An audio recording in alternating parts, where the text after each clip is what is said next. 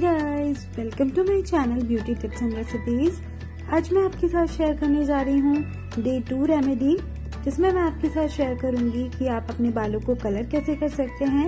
और कलर के लिए मैं यहाँ पर यूज़ करने वाली हूँ मेहंदी, यानी कि हीना, जो कि बालों के लिए काफ़ी अच्छी होती है, बालों को सॉफ्ट एंड शाइनी बनाएगी। और ये आपके बालों को नेचुरली कलर भी करने वाली है। तो ये डे टू है और सेकेंड रेमेडी मैं आपके साथ शेयर करने जा रही हूँ। इससे न सिर्फ़ बालों को कलर मिलेगा, बल्कि आपके बालों की क्वालिटी को ये बहुत अच्छे से इम्प्रूव भी करती है। प्लस नेचुरली कलर करती है तो आपके बाल बिल्कुल भी डैमेज नहीं होते हैं। तो चलिए, आज का वीडियो स्टार्ट करते हैं। तो इसे बनाने के लिए सबसे पहले आपको एक बड़ा सा बाउल लेना होगा, और आपको यहाँ पे प्लास्टिक का या फिर ग्लास बाउल का यूज़ करना है। स्टील का बाउल बिल्कुल भी यूज़ नहीं करना है। या फिर आप लोहे की कढ़ाई भी यूज़ कर सकते हैं। लोहे का कोई बर्तन यूज़ कर सकते हैं।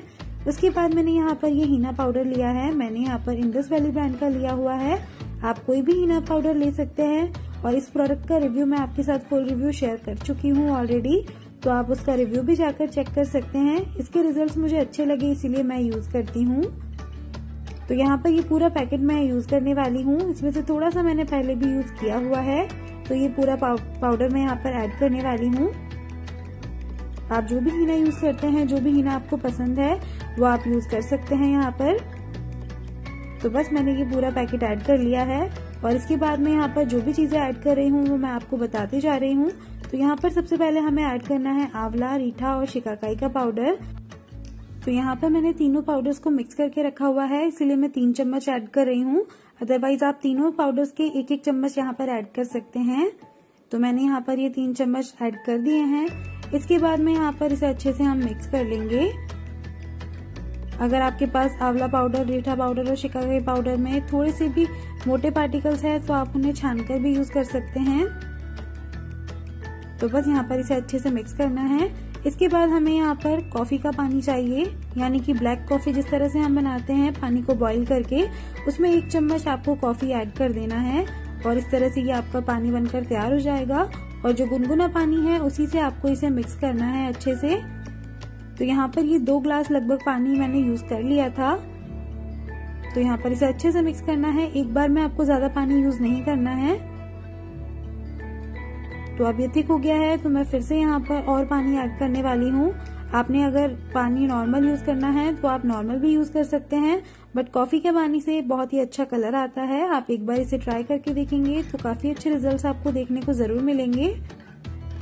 तो बस यहाँ पर इसे अच्छे से मिक्स करना है, और इसकी प्रॉपर कंसिस्टेंसी आने तक मैं इसे मिक्स करते जा रही हूँ यहाँ पर।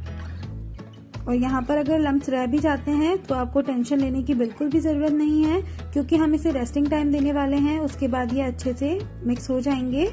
तो आप देख सकते हैं कि यहाँ पे मैंने इसे अच्छे से मिक्स कर लिया है बट कुछ लम्ब अभी रह गए हैं। तो इसे हम ऐसे ही छोड़ने वाले हैं। आधे घंटे के लिए या एक घंटे के लिए आपको इसे रेस्टिंग टाइम ज़रूर देना है। आपको मिनिमम इसे 30 मिनट्स के लिए तो छोड़ना ही है। उसके बाद ही हम इसे अप्लाई करेंगे। तो बस मैं यहाँ पर इसे इसी तरह से छोड़ दूँगी।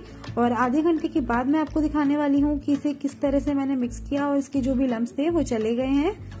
तो आप देख सकते हैं कि अब यहाँ पर लम्ब बहुत ही कम हो गए हैं।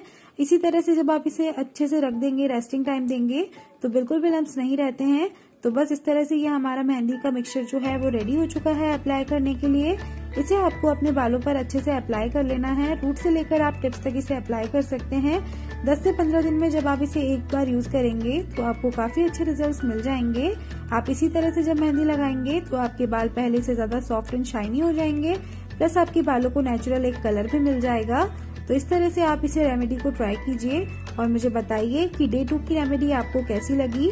और अगर आज का ये वीडियो अच्छा लगे तो प्लीज़ वीडियो को लाइक कर देना, अपने फ्रेंड्स एंड फैमिली के साथ शेयर कर देना।